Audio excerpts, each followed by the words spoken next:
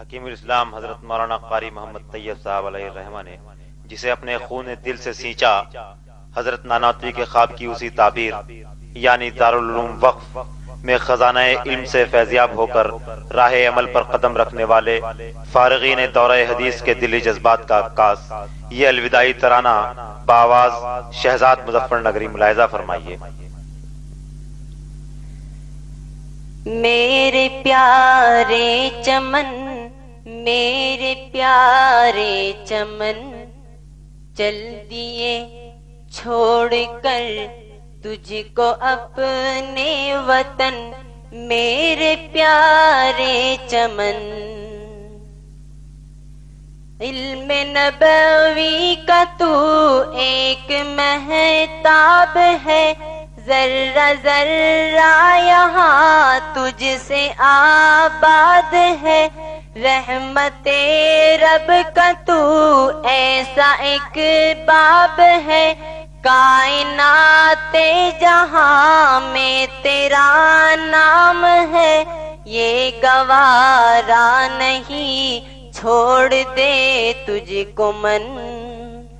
یہ گوارا نہیں چھوڑ دے تجھ کو من۔ چل دیے چھوڑ کر تجھ کو اپنے وطن، میرے پیارے چمن۔ مثل بل بل یہاں چہ چاہتے رہے، تیرے گلشن میں دل کو لبھاتے رہے۔ رحمت رب سے ہم فیض پاتے رہے۔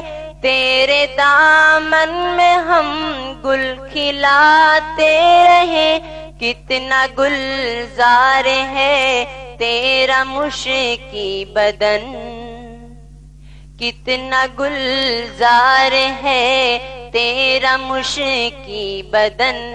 چل دیے چھوڑ کر تجھ کو اپنے وطن، میرے پیارے چمن۔ یہ مدرسہ ہے اخلاص کا گل ستا اس چمن کے سالم میاں باغبا اور انظر ہے تعلیم کے پاس با ہر گھڑی ہم پہ حضرت کا ہو صاحبہ یاد رکھنا ہے سب کو تجھ کو گگن۔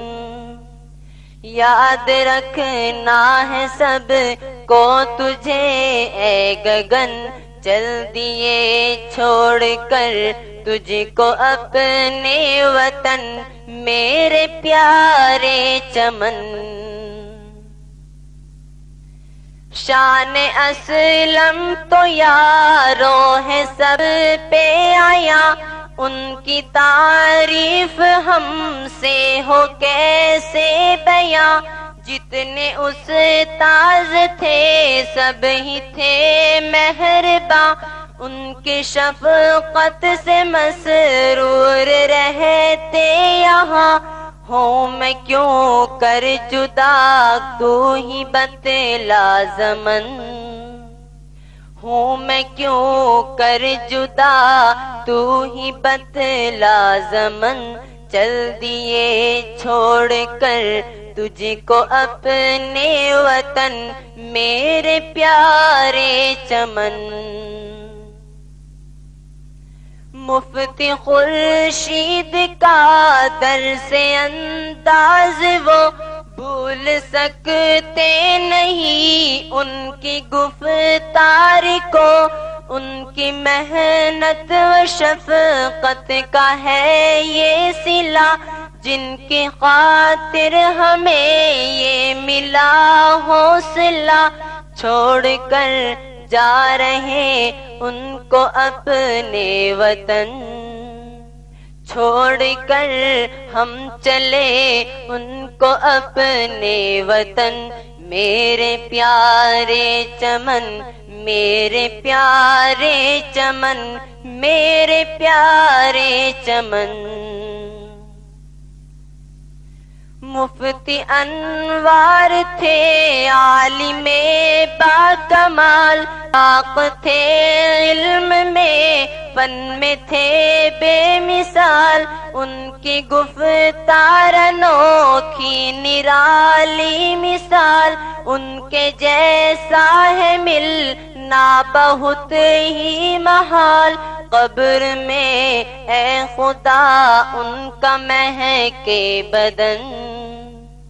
قبر میں، اے خدا، ان کا مہکے بدن چل دیے، چھوڑ کر تجھ کو اپنے وطن، میرے پیارے چمن۔